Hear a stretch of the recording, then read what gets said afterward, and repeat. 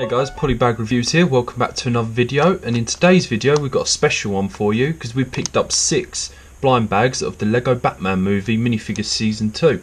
So let's get them all open up and see what's inside. Right, guys, let's get this first one open up and see what's inside. So we're just going to sniff it across the top here so in case there's a cape or anything we don't cut that off. And we have got Mermaid Batman.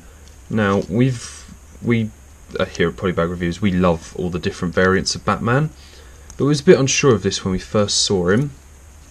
But the, now I look at him, he's actually quite a cool Batman. I think that's a new mould for the towel piece as well. So yep, that's a pretty cool one right there. And let's open up the next one. Let's get this open. These are all random. We didn't go into the shop and feel them up or anything. So if anyone wants to say it is, then we have got... Oh, Hugo Strange. If anyone watches the show Gotham, you will know Hugo Strange is. If not, then I'm sure reading the comic books or anything like that, he'll be in there. Let's just find his beard yeah, he's a big part of uh, Gotham. So if you get a chance, go watch that. No sponsorship or anything like that, obviously, but yeah, pretty cool minifigure as well, as you can see. Hugo Strange or Doctor Strange, whatever you want to call him, but yep.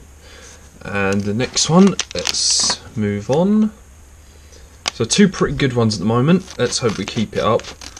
I mean, uh, at some point we're going to get all of them, but for now we've just got six and this is the Clockman I believe his name is or something like that I'm, I've forgotten his name now I'll have to look it up afterwards but let's just get him built. Cape on first.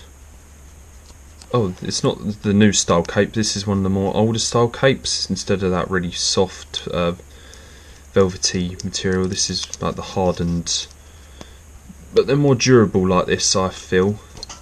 But some have their own opinions on that. Right, he's a pretty cool minifigure. He's got clocks all round him. His head's the same piece as the gingerbread man as you can see on the back he's also got clockworks in throughout uh, no back printing no back leg printing and he's got two spikes to represent clock arms from my knowledge it's a pretty cool one Let's open up the next one.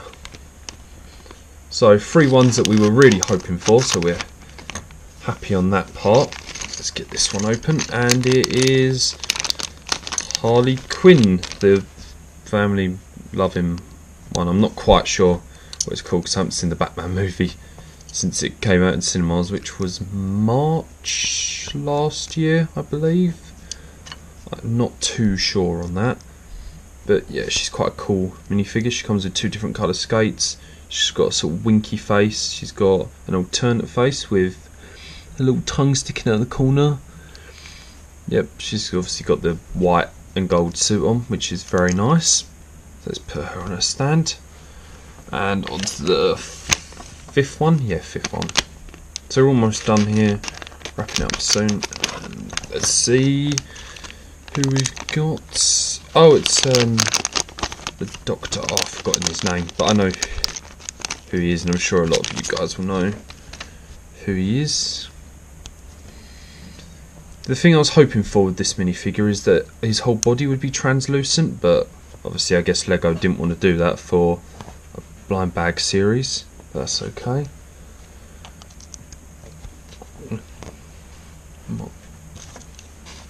Oh, Professor Thesaurus, I believe his name is. Sounds a bit like a dictionary or something, I'm not really sure, but that's what I've just been told.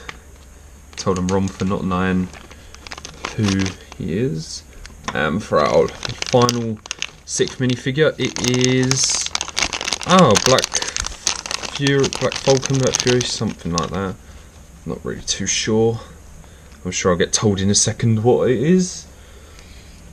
And yeah, I mean, he's quite a cool character as well. He's got the rubber headpiece just like the new Flash minifigure. I mean, he's basically just a, a black and yellow version of the Flash anyway.